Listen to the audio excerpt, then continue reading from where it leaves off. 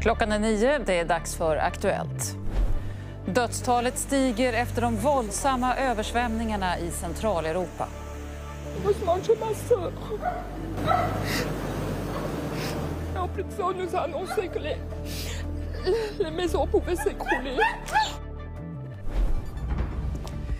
EUs klimatpolitik väcker strid om den svenska skogen. Ska mer skog skyddas eller inte? Debatt i Aktuellt. Och björkmätarlarven äter rent på björkarna i Abisko.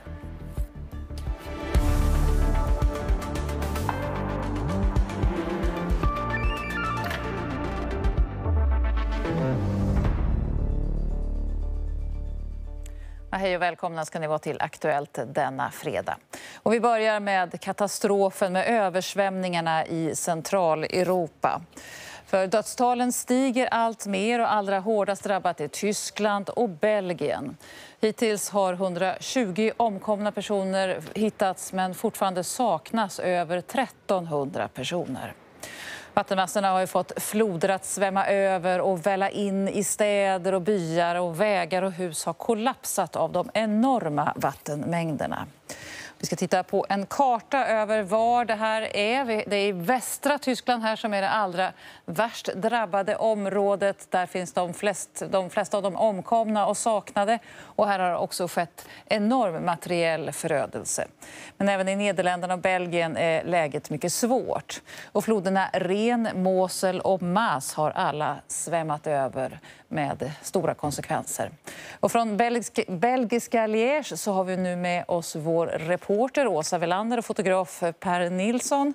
Eh, Åsa, du befinner dig alltså i Belgien och har varit i, i Liège en, en stund nu. Hur är situationen där du befinner dig? Ja, det har slutat regna här nu och vattnet börjar långsamt sjunka undan. Men på något sätt är det redan för sent. Det är en otrolig förödelse. Människor har förlorat sina hem, sina affärsverksamheter. Eh, längre upp i stan här så är vägarna fortfarande totalt översvämmade. Och eh, ja, människor har dött och, och eh, helikopter har fortsatt under dagen att eh, evakuera människor ur rasmassorna. Mm. Och vad är det för reaktioner, vad är det för känslor du möter i, i de här områdena? Jag har pratat med människor som har varit i chock och eh, eh, Eh, väldigt, eh, väldigt upprörda och ledsna över det som har hänt naturligtvis. Bland annat en kvinna som eh, kom tillbaka och såg sitt eh, bageri idag som de har drivit i, generation, i fyra generationer i familjen. Det var ingenting kvar. De kunde rädda i stort sett ett par mynt och en kavel ur eh, bageriet. Allting är utblåst och människor är ledsna naturligtvis. Mm. En ofattbar katastrof. Vad är prognosen nu? Är kulmen nådd för de här översvämningarna eller vad tror man? Just i den här regionen så verkar det inte som att det ska regna mer just nu men däremot ser det ut som att regnen har dragit norrut och att det är mer oro framöver för nordöstra Belgien och in över Nederländerna. Ja, tack Åsa Welander direkt från Belgien alltså och, och, mer om vädret framöver får ni i vår väderprognos i slutet av sändningen. Eh, och I det hårt drabbade Tyskland, som alltså är hårdast drabbat, så finns vår utsända Elin Jönsson som lämnade den här rapporten idag från staden Scholt. Und dann ist alles kaputt, alles. Industrie, Geschäfte, alles ist kaputt.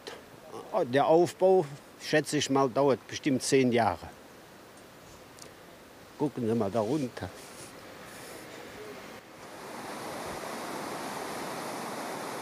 Här kan man se hur floden Ar har svämmat över och dragit med sig flera hus. Många hus är fortfarande instabila och riskerar att rasa. Och arbetet försvåras, berättar räddningsmanskapet som säger att ingenting fungerar här just nu. We don't have running water, uh, we don't have electricity, we don't have uh, heating, not toilets. And um, so we are waiting for the decision of our uh, head department if we will rebuild certain uh, bridges and um, streets. Did people have to evacuate from here to go to other places, or could they stay in their houses? Uh, part could stay, and parts had to be evacuated um, in hotels or pensions nearby. Um, a very big solidarity of uh, people helping. Um, we've got a lot of um, clothes that were brought here um, because people are lacking of everything. Ett hundratal personer från räddningstjänsten och Röda Korset arbetar med att få staden på fötter igen. Nere på huvudgatan försöker familjen Franzi rädda vad som räddas kan från sitt förstörda hus. Bis, heute, bis gestern Morgen um 5 Uhr, dann wurden, dann wurden wir von der Feuerwehr per, per Schlauchboot rausgeholt. Es ist, es ist Katastrophe. Wir sind jetzt mit dem Hund und den Kindern im, im Hotel oben und ja, gucken noch, dass wir Klamotten bekommen oder Lieblingsspielzeug. Ja, sonst alles kaputt. How do you feel today? Wir leben. Ja, Ja. wir leben, wir leben. Es ist schwer, aber es geht uns gut, den Kindern geht's gut. Keiner verletzt. Alles Ja, andere ist also egal. Wir leben. Ja, Martin Hedberg, du är meteorolog och författare. Välkommen hit. Tack så mycket. Eh, enorma vattenmängder pratar man om, floder som svämmar över. Vi ser bilder som är, är ofattbara i princip. Hur mycket vatten handlar det om? Kan man sätta det här i någon slags perspektiv om hur mycket vatten som har kommit och varför det blir så här? Eh, själva var det, varje liten en, enskild regnskur kanske inte är, är jättemycket men det är ett stort område som det har regnat kopiösa mängder ur. Och, eh, var och en av dem må vara en extrempunkt och tillsammans utgör de verkligen ett eh, extrema eh, skyfall. Då då. Och jag menar, vi ser ju bara konsekvenserna av det här är ju ett, ett vittnesbörd nog över att det här är en extrem situation som inte har inträffat tidigare. Eh, det här extrema vädret, hur kan det hänga ihop med klimatförändringarna? Vad säger du? Alltså vi, har, vi, vi har värmt planeten. Vi tillför växthusgaser så planeten blir allt varmare. Och I en varmare planet så får vi mer extremväder. Vi pratar väldigt mycket om temperaturer. Vi har sett det till exempel eh, i Kanada och i västra USA hur man har legat under en heatdome där det har varit extremt varmt. Men det som också händer när atmosfären blir varmare är att det hydrologiska kretsloppet blir intensivare. Alltså det avdunstar mer vattenånga och sen ska det där vattenångan ner någon annanstans i form av nederbörd. Och då ser vi kopiösa regnmängder. Så att det, liksom, det blir mer snurr på vädret i form av avdunstning och nederbörd. Och det kan alltså betyda att det blir torka och missväxt och skogsbränder på ett ställe och sen så översvämningar någon annanstans. Så du menar att det hänger ihop alltihopa? Det, Det här ett hänger ihop, och just de här, det hänger upp i ett cirkulärt system eh, och just den här, de här extrema förekomsten av extremt väder är en konsekvens av att vi har en global uppvärmning. Så global uppvärmning, eh, klimatförändringar och flera extrema punkter hänger samman. Och framåt, är det här sånt vi måste lära oss att hantera och leva med och även ännu värre situationer Ja. även i Sverige? Eller hur, hur ser du på framtiden? Ja, absolut. Och att det här händer just här, just nu, det är lite grann slumpigt. Det är det som är vädret, om det händer här eller om det händer på en plats som är 10, 20 eller 50 mil därifrån. Så det här kan, sådana här situationer kan absolut inträffa här i Sverige också. Lika extrema menar du? Lika extrema, absolut. Och eh, det som vi ser är eh, också att det här är ingenting, man kan säga, är det här någonting vi måste vänja oss vid? Ja, definitivt. Eh, och det kommer tyvärr att bli värre. Alltså vad vi får, får, ska anstränga oss att göra är att minska klimatpåverkan och minska påverkan på ekosystemen så att de kan gå så långsamt som möjligt och så att det kan plana ut på någon nivå som vi kan anpassa oss till och som naturen kan anpassa sig till. I Tyskland så har ju myndigheter och andra fått hård kritik för att man har fått varningar om att det kan bli katastrofer. Man har inte agerat i tid. Mm. Eh, Ligger det någonting i det här? Har man kunnat känna till att det här är på gång? Ja, så här, för att förekomsten av extrema situationer och att det extrema blir vanligare i, i takt med klimatförändringarna, det har man känt till i decennier. Men det här som händer just nu och som jag tror att mycket av den här kritiken riktar in sig på, det är ju hur man hanterar att man har fått prognoser för ett par dagar sedan och att man inte har lyckats evakuera människor från de platserna där man vet, alltså inom loppet av några dygn, att det kommer att komma mycket nederbörd. Och här har vi till exempel i Europa förmodligen väldigt mycket att lära av USA där man har tromber och tornados och den situationen där man helt enkelt får, får lära sig hantera de här extrema situationerna. Och det är någonting som vi måste bli bättre på att göra. Till sist kort en stor fråga dock, men hur, vi, hur kan vi förbereda oss inför framtiden? Vi måste nog förvänta oss mer av det som vi hittills har betraktat som osannolikt. Och i framtiden, från och med nu och i framtiden så blir sånt som vi tidigare betraktat som osannolikt allt mer sannolikt. Tack Martin Hedberg för att du kom hit. Nu fortsätter vi med andra nyheter. Migrationsverket stoppar nu alla utvisningar till Afghanistan på grund av det förvärrade säkerhetsläget i landet. Beslutet gäller med omedelbar verkan. Och I dagsläget berörs cirka 7 000 personer men i praktiken har coronapandemin redan hindrat utvisningar till Afghanistan. Det var fel att utesluta möjligheten att coronapandemin började genom att virus läckte ut från ett laboratorium i Kina. Ja, det här säger nu generaldirektören för FNs världshälsoorganisation, WHO. Den grupp WHO-experter som besökte labbet Wuhan i mars där man forskar på just coronavirus sa efteråt att en läcka var extremt osannolik. Men nu ändrar WHO alltså sin retorik och kräver större öppenhet från Kina. Uh, there was a premature push to, um, uh, you know, uh, especially reduce one of the options like the lab theory. As you know, I was a lab technician myself. I'm immunologist, and I have worked in the lab. And lab accidents happen. It's common. Hur ska vi bruka skogen för att den ska bidra till bättre klimat och ökad biologisk mångfald? idag kom EU-kommissionen med sina förslag på hur skogsbruket bör förändras. Och EUs nya strategi kommer att ställa nya tuffare krav på svenska skogsägare vilket redan lett till en hård debatt. What we propose is change at every stage. Changes in the way we protect, the way we manage and the way we grow our forests and the use we make of multiple services it provides. For protection, in line with the biodiversity strategy, we propose strict protection of all remaining primary and all-growth forests in the EU. Huvudbudskapet var tydligt idag. Om EU ska klara sina klimatmål så måste äldre europeiska skogar inte bara stå kvar och binda koldioxid. De måste bli fler. Och nu vill också kommissionen plantera 3 miljarder nya träd fram till 2030 i ett försök att engagera enskilda EU-medborgare att bidra till biologisk mångfald. Men i andra detaljer var EUs förslag till skogsstrategi idag otydligare. Vad är till exempel en gammal skog? Ja, det avgörs inte förrän i december. Och istället för att förbjuda kalavverkning som har diskuterats tidigare så blev det nu en skrivning om att det bara får göras i nödfall. Det framstår som en balansgång att få skogsbruket både miljömässigt och ekonomiskt hållbart. Och många detaljer överlämnas också åt medlemsländerna att mejsla fram. Men EU lovar extra stöd till projekt som bevarar och utökar skogen. I gengäld vill man kunna övervaka vad som faktiskt sker i skogarna nationellt. Idag var man också väldigt tydlig med att man var i samtal med alla berörda parter i skogsfrågan. Inte minst i länder med mycket skog, som Sverige och Finland.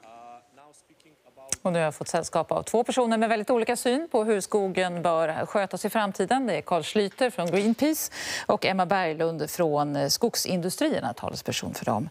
Eh, ja, Emma Berglund, om vi börjar med dig. Eh, vad anser du är det största problemet med de här förslagen som EU-kommissionen nu har presenterat som gäller både hur kol ska bindas mer av, av skogen och hur mång, den biologiska mångfalden ska behållas?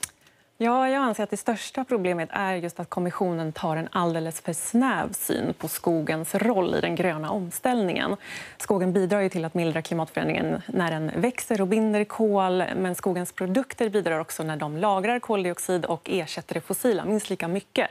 Men kommissionen har snävat in sitt fokus just på den här rollen som skogen har då som kolsänka, så att låta eh, skogen stå och låta träden stå kvar bara för att binda kol. Det tycker vi är en, en missad chans att mm. liksom få hela nyttan från skogen. Carl Schlyter, vad säger du? Är det en för snäv syn att fokusera så mycket på att skogen ska stå kvar? Men alla vetenskapliga rapporter visar att skogens roll som kolsänka är oerhört stor. Och att man nu ser det och tar in det i politiken är fantastiskt bra.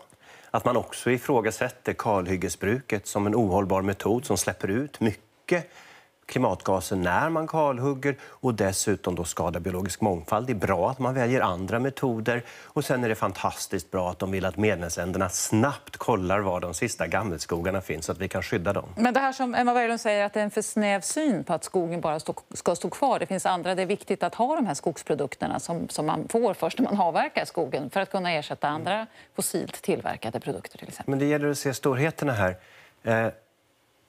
Kolinlagren kolinlagring från skogen, den som de nu föreslår, den är alltså åtta gånger mer än värdet av att ersätta fossila med de produktioner vi har idag.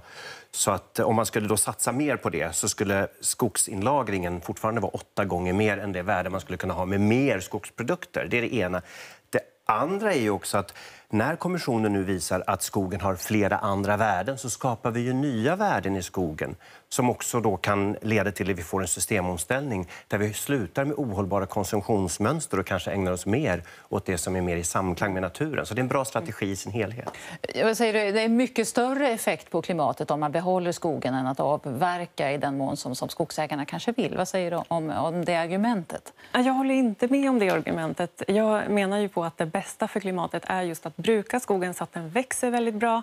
Och sen att man avverkar den så kan man plantera nya träd samtidigt som man då kan använda den här förnya Eh, råvaran till att ersätta det fossila. Och det är det vi måste komma ihåg när man pratar om att vi ska minska på avverkningarna och minska på det här kalhyggesbruket. Att det betyder att vi kommer få tillgång på mindre eh, förnyelsebar råvara från skogen och den måste ju ersättas med något annat, vilket kommer bli det fossila. Och vi måste ju låta det fossila stanna i backen. Det är det det handlar om. Vi löser inte den globala klimatkrisen genom att avverka mindre skog i Sverige. Ni är helt oense här om, om nyttan så att säga, av skogen, uppenbarligen. Du säger åtta gånger större nytta. Eh, vad är det som gäller här egentligen? Är det inte forskningen som, som ändå har slagit fast jag hänvisar ju då till EU-kommissionens egen forskningsenhet, JRC, som i maj kom med en rapport där de visade att det smartaste sättet att snabbt minska utsläppen från skogen och fram till 2050 är det mest effektiva att låta avverkningstakten gå ner lite.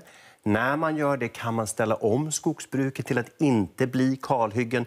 Då kan vi nå målen både om biologisk mångfald och att få bort koldioxid från atmosfären. För idag är 80% av det vi tar ut ur skogen i atmosfären igen inom ett par år. Och då får du liksom inte bort det fossila, där vi är helt överens. Där är vi helt mm. Men du får inte bort det från atmosfären utan du ersätter det bara med att du eldar upp skogen. Och det är här då vi behöver minska förbrukningen av engångsartiklar och annat som vi gör idag och satsa på det långsiktiga, precis som Det är en annan säger. fråga, men vad säger du om det Korslyte mm. säger? Att det här det stämmer inte det du säger? Jag menar att man tar då en för snäv syn när man tittar på skogen som kollager. Man måste titta på det bredare perspektivet där man har skogen som kollager, vilket är viktigt. Skogens kolsänka är viktig, men man måste också titta på nyttan från att använda skogen och ersätta det fossila. Och beräknar man in in den klimatnyttan också så ser man att det bästa långsiktiga strategin här kommer är... Här inte bli överens. Det är fakta som är svår kanske att ta upp i det här sammanhanget. Men en annan sak som talas om är ju också det här med just kalhyggen. Att man ska inte kalhugga på det sättet som man har gjort hittills. Eh, vad säger du om det förslaget som presenteras eh, från EU-kommissionen när det gäller just detta? Ja, jag tycker det visar på att kommissionen har en väldigt låg förståelse för hur svenska skogar ser ut och hur de, skogsbruket bedrivs och hur vår skogsindustri fungerar. Och det stämmer ju inte att kalhyggen släpper ut stora mängder växthusgaser helt enkelt. Eh, utan kalhyggesbruket det är väldigt eh, effektivt och det är bra för klimatet. Och i hur kan det vara bra för klimatet att det är, en effektiv, det är ett effektivt sätt att sköta skogen. Vi planterar eh, träd som växer väldigt väl och sen när vi avverkar dem använder vi dem till eh, klimatsmarta produkter. Kalhyggen är ett bra sätt att, hantera skogen när det gäller klimatet. Ja, de forskningsrapporter som kommissionen och miljörörelsen förlitar sig på visar ju snarast att när du kalhugger så får du en stor förlust av kol också från marken som tar upp till 25 år ungefär att ersätta det. Sen tar ju träden 60-120 år att växa tillbaka och det är tid vi inte har. Dessutom utarmar det då biologisk mångfald så att det finns ju flera nackdelar med det här. Och tittar man då på flera, EU, eh, flera länder i EU, som Tyskland där flera delstater har kalhyggesfritt skogsbruk. Schweiz, då, som inte är med i EU men som i, i, i, Europa, de har ju förbjudit det här. Och där ser man att det blir ju fler jobb per hektar och du får mer hållbara skogar. Vi hörde just om alla klimatkatastrofer. Skogar tål klimatkatastrofer, torka och insektsangrepp bättre om de har olika höjd, olika ålder, olika trädslag. De blir mer resilienta och det är bra för skogsbruket också. Det här är en debatt som absolut kan fortsätta. Ni är inte ensam mycket, men tack ni båda för att vi, ni kom hit. Nu måste vi gå vidare i sanningen. Tack ska ni ha. Ja, vi fortsätter med ämnet träd, faktiskt, men nu handlar det om björkar i fjällandskapet. Björkar som delvis står helt nakna nu. För den lilla björkmätarlarven har nämligen exploderat i antal i Abisko i år. Och nu varnar forskare för att klimatförändringarna kan leda till ännu kraftigare utbrott i framtiden. This has effectively been defoliated.